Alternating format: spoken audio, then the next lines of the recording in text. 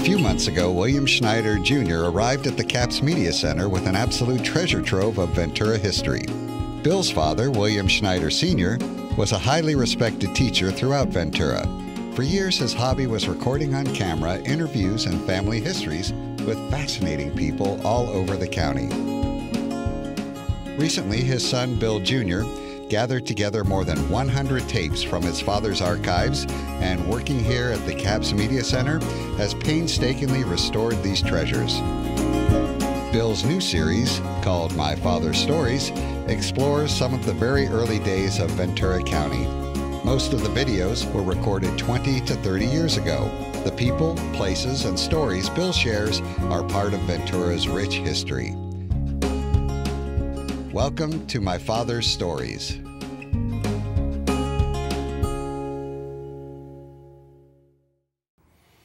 Well, in your magic binder of stories, who's next? Uh, this is another uh, pioneering family of Saticoy, uh, Leo Vanoni and the Leo Vanoni Ranch.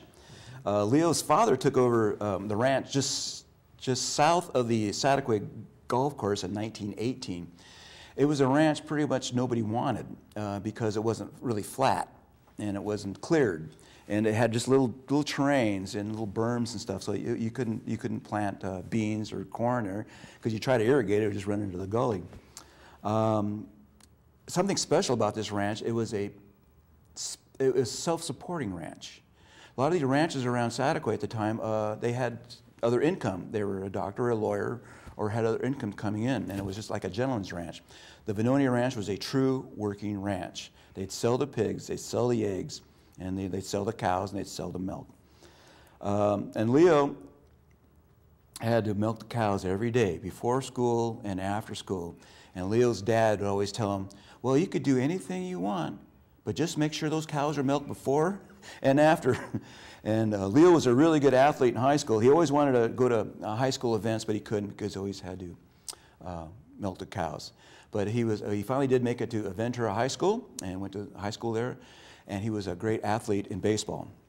Um, the ranch has seen some disasters. Uh, in 1928, the, as you know, the St. Francis Dam collapsed and flooded the lower 40 of the Vanoni Ranch. It, didn't, it took out a few trees, but not a lot. And, but the subsequent damage was what they call white, white root rot and it would rot the roots of these lemon trees. And also this white root rot was contagious. It would go to other trees. So he had to pull out about 20 acres of his lemons. So it, it wasn't all just, you know, milk and honey in those days. So I'd like to present to you Leo Vanoni. Great, let's see it. We are at one of the most historical sites in uh, my favorite community of Saticoy, down near the east end of Telephone Road.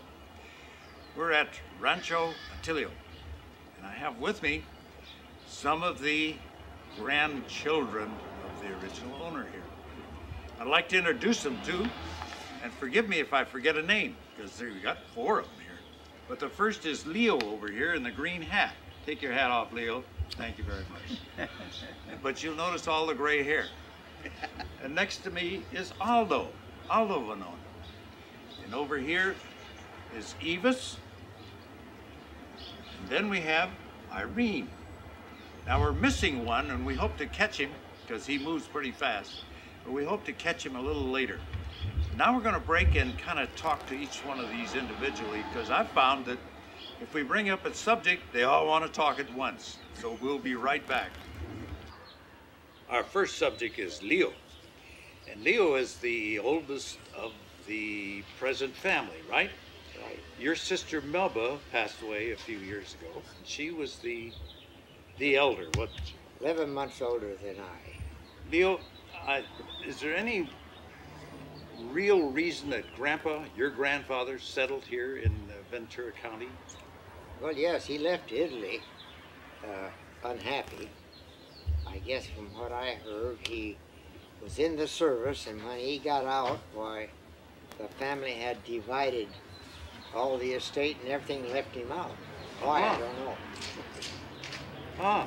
So one day he he came in and he says to the family they were gathered, and he says, uh, I want to say goodbye to everybody. I'm going to America, and that was it. That was it. That was it. Now, do you know if he had any uh, object that he was, you know, had somebody told him about this great country of Ventura County? Uh, of course, the, there's always relatives. There, there were some relatives here, ah, and of course, the uh, people that came like that, they always uh, uh, had friends or relatives in the areas, and that's how they congregated. They enticed them to come.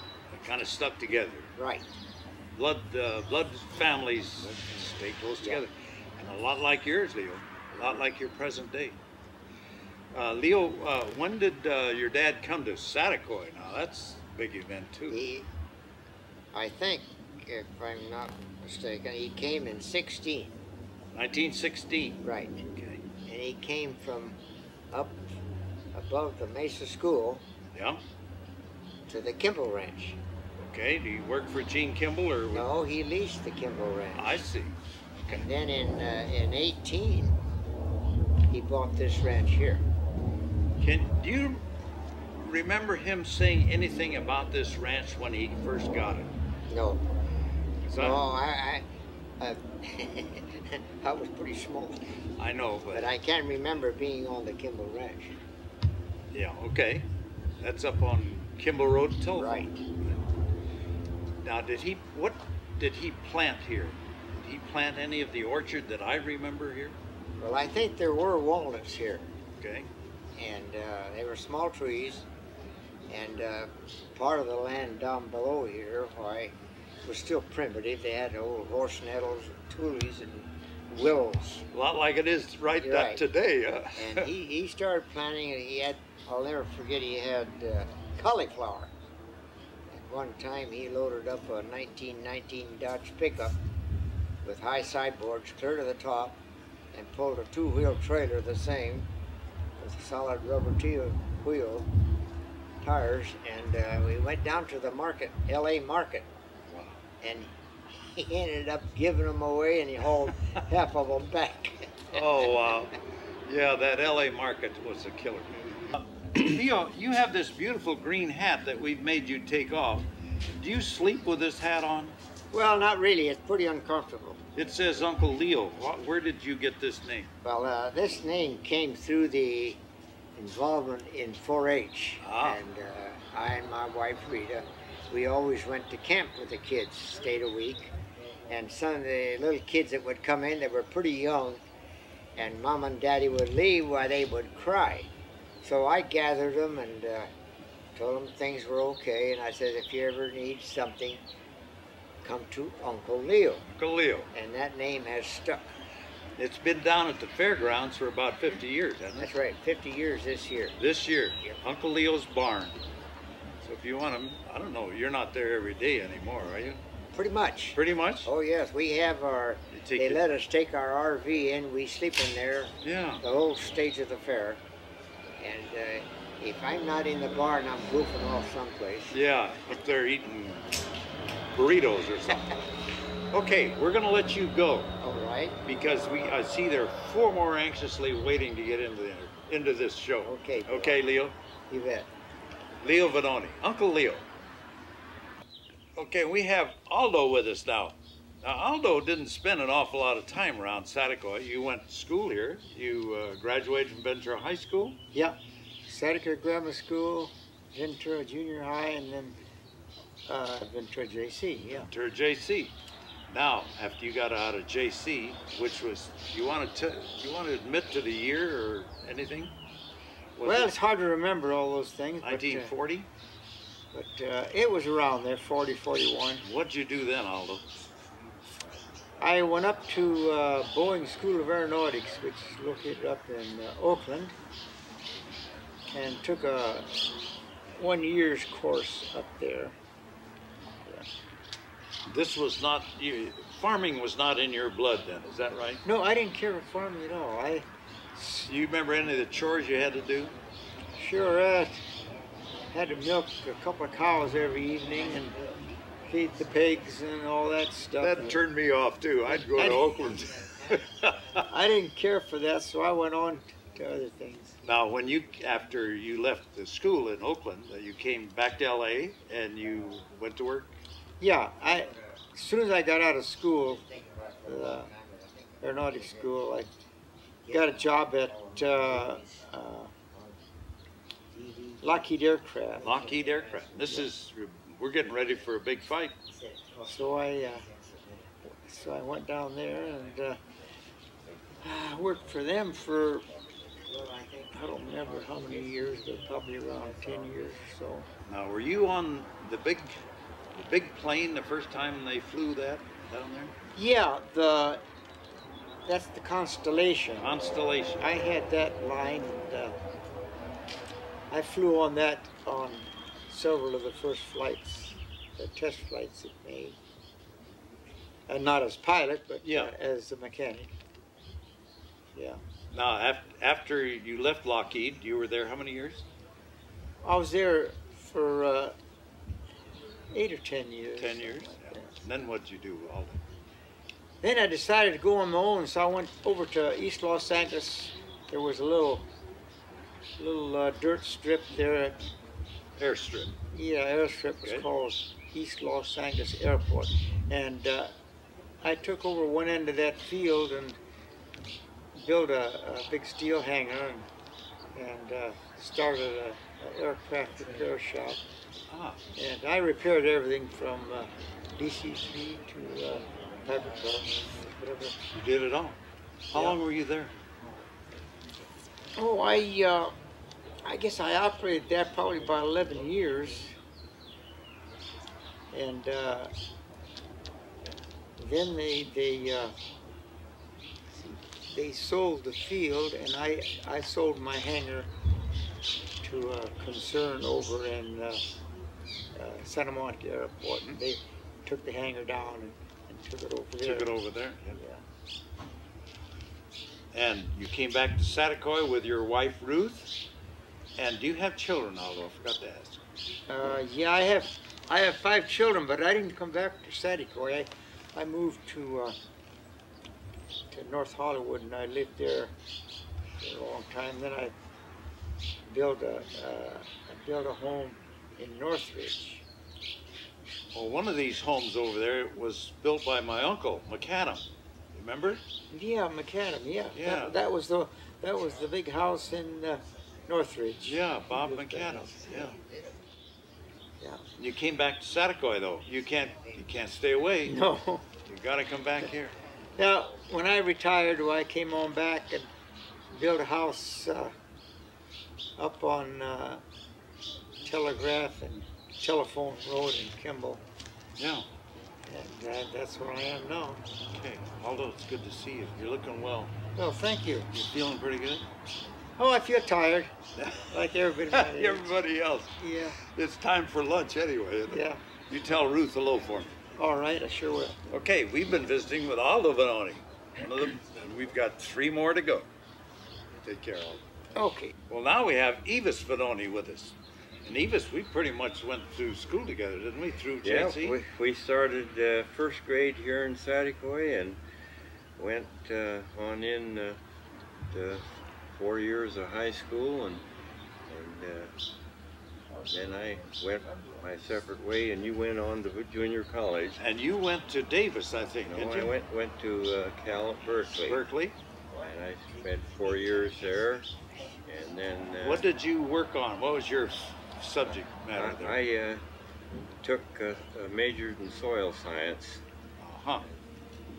You got just about every kind of soil on this piece too, haven't you? Yes, it's uh, everything from river bottom to heavy dobie. Heavy Dobie. That's what happened to walnut trees, wasn't it? Yeah. They had a clay top there. Evis, you, you've kind of been the honcho here in, in agriculture, haven't you, on this on this property? Yes, I I left uh, the ranch and thought I was going to pursue uh, an easy job, but uh, I always had a yearning for the ranch, and uh, so finally I just gave up and came back, and uh, I spent. Uh, well, since 44, I came back. I stayed and worked here on the ranch. You know, as just sort of a secret between all of us, Evis can't leave this ranch. He is here every morning, right, Evis? Yes, I still come. Well, that, that's great. That's great. That shows where your roots are. Um, did you plant any of this, Evis? We have three Uh, orchards here that I remember. Yes, um, uh, I have been involved in planting everything except the uh, walnuts, which were on the ranch when uh, Dad purchased the property. Now, this house that I see over here that's just got a new paint job, was that your first home? Yes, I, I was uh, born there and uh, lived there until uh, my early teens when we moved to the other house here. And and and now you're you live up on just about Tele, Telegraph Road. I'll get it. in a. Yes, I yes I uh, I bought a ranch when I came back, uh, the old Gill Brothers Ranch on Telegraph Road, and uh, when my son let me know that he had no interest in farming, why I thought I'd dispose of that, and uh, and I spent my full time here on the family property. Now you told him about all the hard work, didn't you? All the chores that you had to do when you were a kid, milking cows and feeding chickens and everything. That's what scares him away. Well, he, he got firsthand information because I tried to get all the help I could out of him as he grew up. it Didn't work. It didn't work. Evis, what do you remember most about living here? Well, it was just uh, a good full life. We were always busy and and uh, we had a close family. And it's a good life compared to what I see the youngsters growing up now. And I remember your father. He helped a lot. He was uh, in the Boy Scout troop that we had here at Saticoy. We have pictures of all three of you guys in the Boy Scout troop. And we went on trips, and it was just a wonderful experience. We're always so grateful to him. And I think you learned something from that too, not just scouting. Yes, and, and I think of um, all the parents, your father and, and Nidiver and uh, Russell Ree, everybody pitched in and, and took part. And in turn, and in turn, you and Virginia, your wife, tell her hello for me, worked very hard with 4-H as Leo and Rita did. Yes, uh, I um, had uh, some dealings with 4-H before I came back to the ranch, and after we came back, why, and as my children got to be a club age, why we started the Saticoy 4-H and continued as long as my children were involved. Okay. Uh, we have two more to go, Evis. Right. Good to see you again. Right. Okay. Bill. Take care. Okay, we now have Joe in the corner in the hot seat. It's called the hot seat, Joe. Yeah, great. How you doing? I'm doing fine. Are you in agriculture by any chance, Joe? Yes. What do you do? Well, I am an engineer. Oh, really? I work with uh, primarily soil and water items, ir- Yeah. irrigation and Yeah. such. We have a lot of people coming in here investing in ranches and they don't know anything about it, do they? Well, I suppose that's true. And they need boys like you to do it. How long have you been around this town? All your life? No, uh, I left here in about 62 when I went to college, probably 60. Yeah. Got out of college in like in 63, and then I actually went to uh, Corcoran, California, which is up in the Central Valley. Yeah. Worked there for a farming company for 24 years. And from there, they had sent me to uh, Australia, Morocco, Oh, you've been around. Saudi Arabia. Uh, and then uh, got a retirement, early retirement from them, and uh, went into work as, just as a consultant. Yeah. And have been since. Have But, but I've only been back here for a year or so now. yeah. Have you seen any place as nice as Saticoy? Not really. no, there's a, a lot of nice places, and you can learn to enjoy it.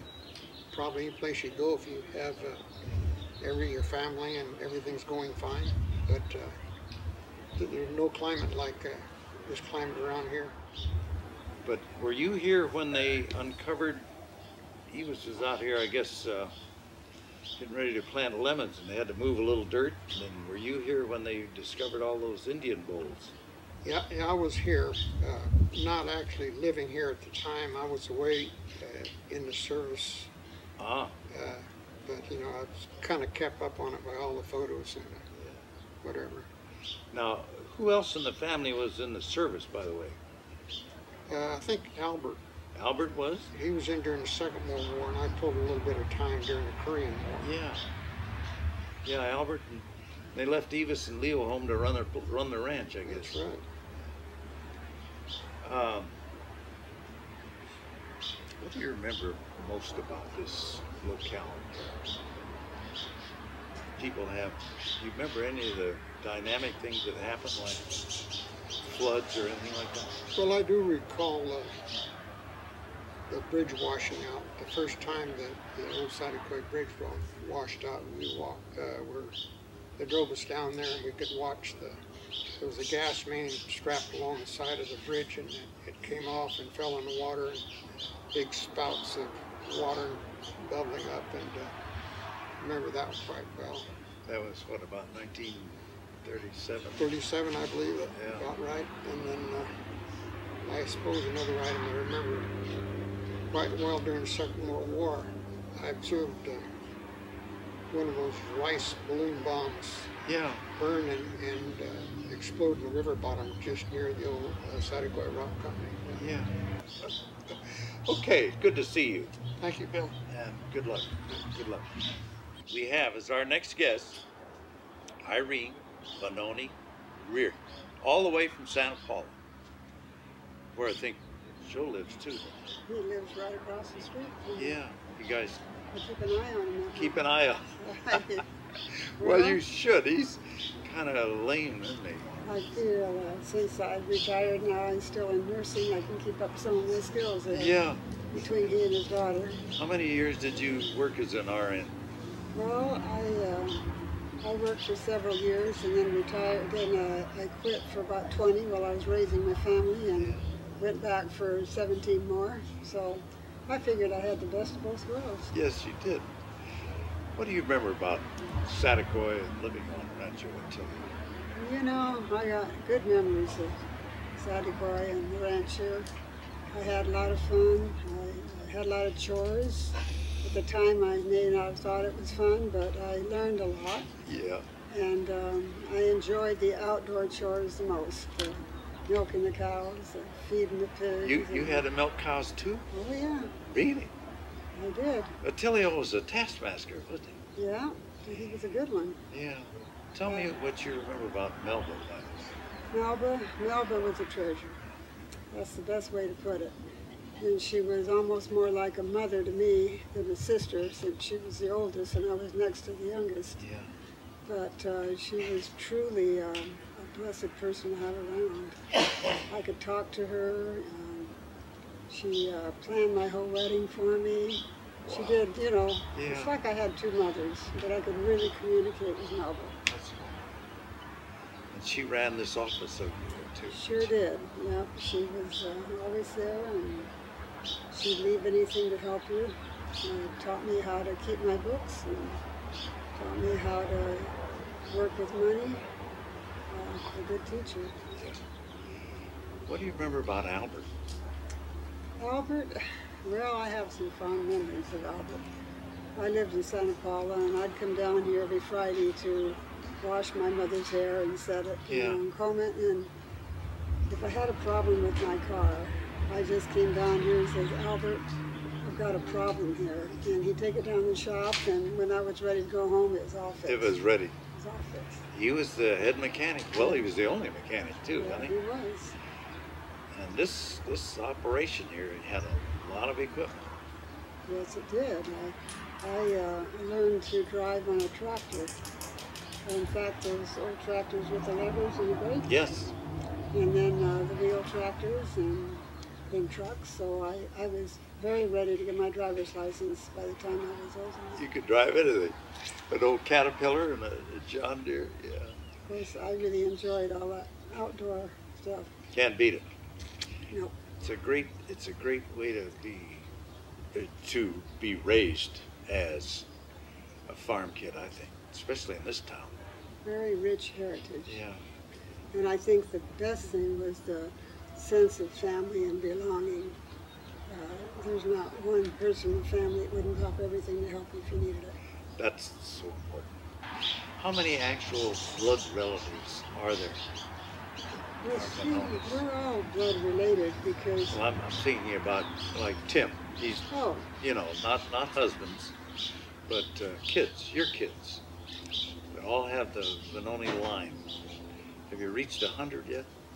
I don't think so. There were 33 nieces and nephews, I think, at the time Nava passed away. Yeah.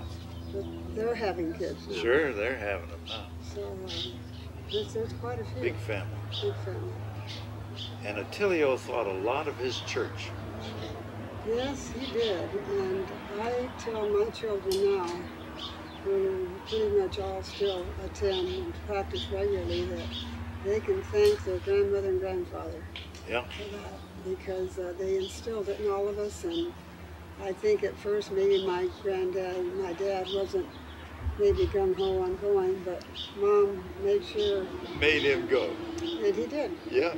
He was confirmed with me, and uh, we went all the time and still going. What was your? I can, you know, I can remember New Year's Eve parties in the basement here Yeah. in this house. Wow, They, that, they were fun. they were a lot of fun. I Yeah. had a lot of them before I was old enough to attend. Yes, I don't think you were there. I heard all the stories, Oh, and yeah. uh, I did get to attend one or two there towards the end. But uh, yes, they were. you know, that, that basement served for a lot of Yeah, parties. lot yeah. Great, grand old house. Grand old house. Mom cooked Christmas dinner every year Really. until she was up in years, and Yeah. We went from one table to two to three to four to accommodate everybody. Now you need a hotel, don't you? But it was fun, and they're good memories. Good memories. All right, we're going to. Uh, well, oh, one more thing. One more thing. Were you in any of the organizations that we talked about earlier, like Girl Scouts or uh, 4-H or anything like that? I was in Girl Scouts. You you miss Saticoy? I can't. This is hard You to believe, not, Irene. Not entirely. You know, when I was in the second grade, during the war years, and there wasn't gas to drive. That's right. No gas. So I did go to Saticoy Grammar School in the second grade, and it was a memorable year. Yeah. Mrs. Johnson, do you remember her? Certainly. A wonderful teacher. And then I remember that mud fight on the way home where everybody was slinging mud and grass and Yeah, got called into the principal's office the next day. that does happen. So I, I do have a few memories of Saticoy. yeah, that was Mr. Rice, wasn't it? That was Mr. Rice. Mr. Rice. Yeah. Yeah. Tell me about your family. Well, I married Tim uh, right out of nurse's training. I came home and he was uh in the Navy out at Port Hueneme. And uh, we have five children. Four of them are married. We have uh, eight grandchildren. Wow. And uh, we try to get together from time to time.